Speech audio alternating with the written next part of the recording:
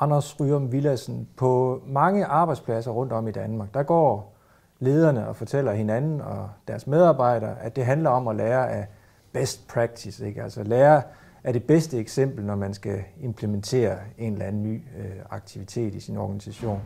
Det lyder jo som en øh, selvindlysende sandhed. Er det det? Jamen på mange måder er det en god idé. Det øh, er ingen grund til altid at gå rundt og genopfinde den dybe tallerken. På den anden side, så er der altså også nogle udfordringer, nogle faldgrupper i den her proces, hvor man prøver at lære fra de bedste eksempler, fra de her best practices, der eksisterer derude. Ja, for hvorfor er det, at vi, vi ikke altid, øh, det ikke altid går så godt med at lære af best practice?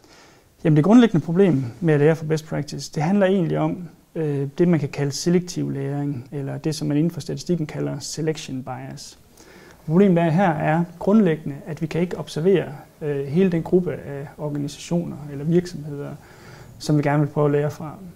Sagen er, at øh, for at forstå, hvad det er, der kendetegner de bedste eksempler, de organisationer eller kommuner, øh, som klarer sig rigtig godt, jamen så skal vi forstå, hvad er det, der gør, at de klarer sig godt. Men samtidig er vi nødt til også at have en forståelse for, om de kommuner eller virksomheder, som klarer sig mindre godt, hvad det er, de gør. For sagen er jo, at hvis dem, der klarer sig godt, og dem, der klarer sig mindre godt, de gør nogenlunde de samme ting, jamen så er det formentlig ikke den praksis eller den løsning, øh, der er forklaring på, at de gode klarer sig bedre. Nej, og der er det så, at øh, jeg ved, at du siger, at øh, de, de, de, de, de dårlige eksempler, de er så at sige side fra. Kan du prøve at forklare, hvad det handler om? Ja, altså sagen er, at det er ofte meget lettere at, at identificere de gode eksempler, og også måske få en forståelse for, jamen, hvorfor er det de her virksomheder eller offentlige institutioner, hvorfor er det, de klarer sig rigtig godt. Øhm, de gode virksomheder, jamen det er jo dem, vi ser på forsiden af børsen. Det er dem, der bliver skrevet om i øh, businesslitteraturen. Det er dem, der, øhm, hvor lederne fremhæver sig selv og deres virksomheder, og hvad de har gjort i, i, i pressen og i medierne. Det er langt vanskeligere, når vi kommer til de virksomheder, der klarer sig mindre godt. Øh, ofte vil de ikke være synlige for os som øh, til at lære fra. Men hvorfor er det, de ikke er synlige? Jamen, de er ikke synlige af flere årsager. For det første kan det være, hvis vi er inden for forretningsverdenen, at de virksomheder, der klarer sig dårligt, jamen, det kan være, at de klarer sig så dårligt, at de er simpelthen nødt til at dreje nøglen om. Så de kan have brugt en strategi, eller en organisationsstruktur, eller en given praksis, som egentlig også bliver brugt blandt de virksomheder, der klarer sig godt. Øhm, men de har bare af den ene eller anden grund fået mindre succes med det, og derfor øh, findes de ikke længere i det observationsfelt af virksomheder, som vi kan lære fra. Så de er simpelthen øh, forsvundet, og vi kan ikke se, at de har gjort det samme som nogle andre virksomheder. Øhm, og det er der selvfølgelig gode grunde til, at man ikke øh, offentligt stiller sine egne fiaskoer til skue, at man så at sige ikke øh, hænger sit beskidte vasketøj øh, ud i offentlighedens søgelys. Ja, jeg ved, at du ligefrem taler om øh, bedragerisk læring. Det er jo et ret stærkt øh, udtryk egentlig, altså en bedragerisk læring, hvis man, hvis man udelukkende går efter, efter det, man kan se, som identificerer som best practices. Hvad, hvad er det, den bedrageriske læring går, går ud på? Jamen, bedraget er så at sige, at man kun observerer de gode eksempler. Man observerer så at sige en overrepræsentation af de gode eksempler af de virksomheder eller offentlige institutioner, der klarer sig rigtig godt. Men vi får ikke observeret dem, der klarer sig mindre godt. Og i og med, at vi ikke er i stand til at observere hele det, øh, det optimale felt, øh, observationsfelt til, til brug for vores læringsproces, i og med, at vi kun får så at sige halvdelen af billedet. Vi får kun dem, der klarer sig godt, men vi finder ikke ud af, hvad der karakteriserer dem, der klarer sig mindre godt.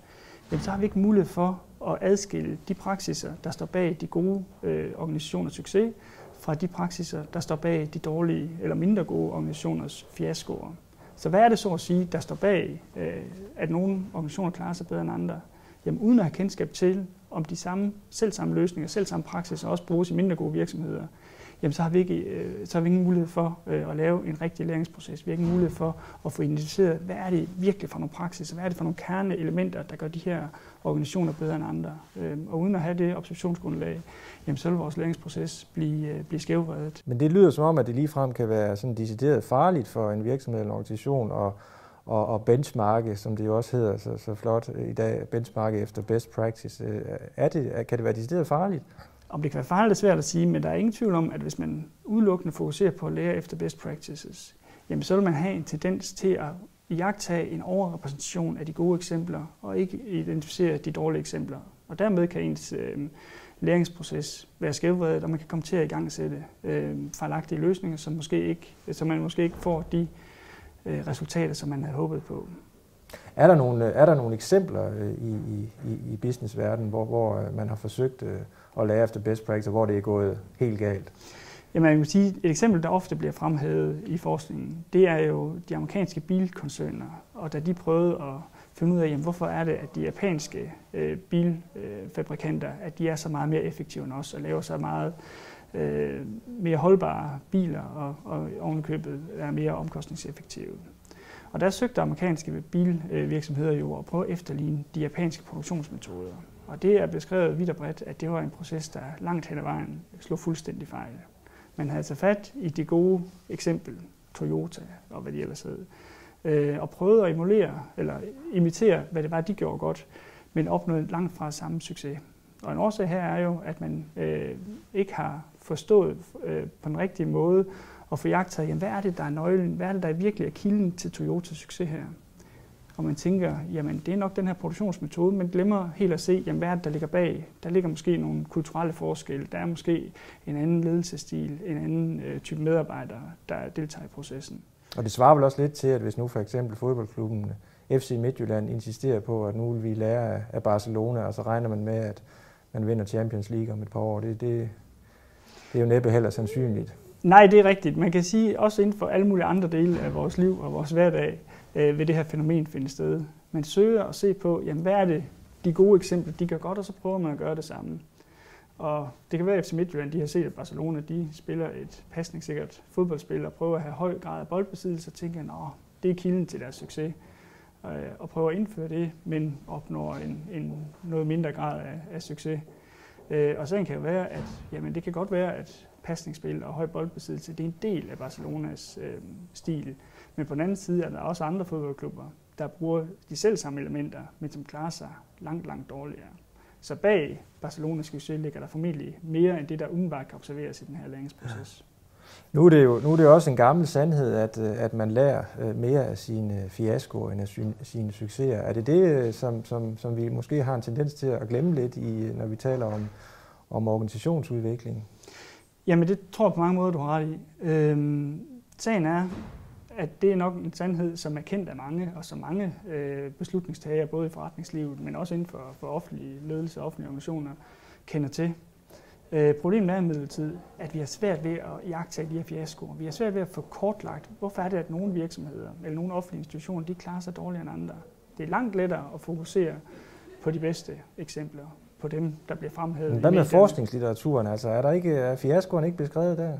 Ligesom det er svært for øh, medierne og andre jagttager at og, og identificere og finde ud af, hvad det, der ligger bag fiaskoen, jamen, så er det også svært for forskningsverdenen at se det her virksomheder og organisationer ønsker ikke at udstille deres fiasko. Det er simpelthen svært at jagtage. Det er svært at, at se, jamen, hvad er det, de her de har gjort, siden de klarer sig mindre godt. Fordi enten er de holdt op med at gøre det, og i hvert fald øh, vil de ikke være noget, de gerne vil tale om offentligt, noget, de gerne vil have til at se, øh, se offentlighedens lys. Men man kunne, det er selvfølgelig et stort spørgsmål, men, men, øh, men kan du så sige noget om, altså hvis vi skal være lidt forsigtige med best practice, øh, hvad er det så for nogle ting, vi, vi bør øh, kigge på, når vi skal optimere vores, øh, vores beslutningsprocesser? Der kan være rigtig gode grunde til at prøve at identificere de her best practices. Gode grunde til at prøve at lære fra de gode eksempler. Øh, og som jeg, som jeg sagde, så skal man jo ikke genopfinde den til tallerken hver gang. Udfordringen ligger i, at man er nødt til at have et et optimalt observationsgrundlag for sin læringsproces. Vi er altså nødt til at kunne se på både, hvad gør de gode virksomheder godt, men vi skal samtidig se på, hvad gør de dårlige eller mindre gode virksomheder øh, dårligt. Så på den måde kan man sige, at hvis vi ser på en virksomhed, der har stor succes, og ser, at de har indført en given strategi, og vi tænker, den her strategi, jamen den må være en kilde til deres succes. Men uden at have kendskab til, om mindre gode virksomheder har iværksat den selv samme strategi, men med mindre gode resultater, jamen så kan vi ikke sige noget om, om det er den her strategi, der er grunden til succesen. Så hvis vi prøver at imitere den gode virksomhed og implementere den samme strategi, jamen så risikerer vi at ende ligesom de mindre gode virksomheder, øh, uden at kunne høste fuld udbytte af, af vores bestræbelser. Og der kan man vel egentlig også sige så, at det måske i virkeligheden er vigtigere at prøve at lære af sin egen organisation og succes og fejltagelser i sin egen organisation, end altid at, at, at sammenligne og benchmarke med andre virksomheder, fordi der kan være mange andre ting på spil der.